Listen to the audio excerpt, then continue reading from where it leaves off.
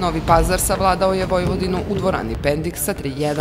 Nakon ovog poraza od Bojkaša iz Novog Sada očekuje težak zadatak u revanšu polufinala Kupa Srbije. Uz to je domaćin u drugom i trećem setu susreta ostvario priličnu razliku, što mu je pored duela u Novom Sadu donelo i dobar poen količnik. Revanš meč biće odigran 6. februara na Spensu sa početkom u 18 časova.